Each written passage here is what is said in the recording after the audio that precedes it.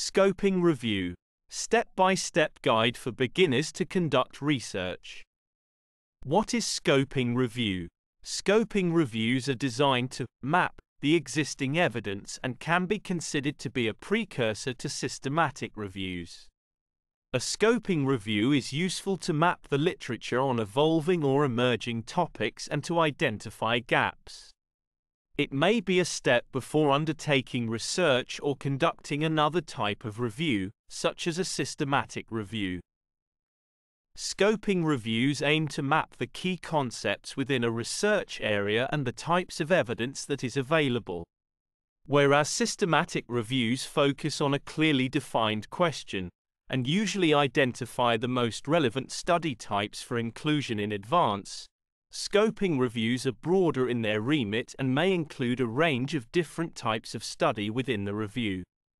Search strategies for scoping reviews are determined by the time available and the specific scope of the topic area. They do not usually involve any type of quality assessment, whereas studies within systematic reviews are critically appraised for quality and risk of bias. Conducting a scoping review. You may wish to conduct a scoping review for the following reasons. To indicate whether a full systematic review would be feasible or beneficial to identify gaps in knowledge on a specific topic to map the existing literature on a topic to better understand the types of research carried out within a topic to clarify concepts, definitions or terminology within a specific topic area.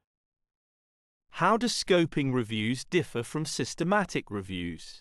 While many of the approaches to forming a comprehensive and systematic search strategy are similar across both types of review, the two methods have different purposes and aims.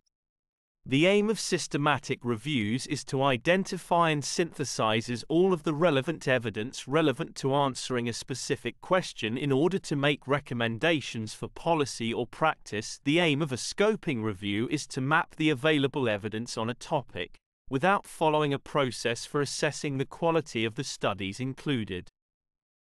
Steps in scoping review. There are six steps in scoping review. Number one step of scoping review is to define the review objective and questions. Number two step of scoping review is to create the search strategy. Number three step of scoping review is to conduct the literature search. Number four step of scoping review is to select studies based on inclusion or exclusion criteria.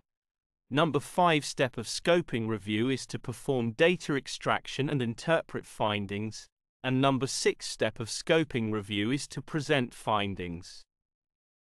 Sample flow diagram for the scoping review. Kindly subscribe my YouTube channel Thesis Helper. Thanks for watching.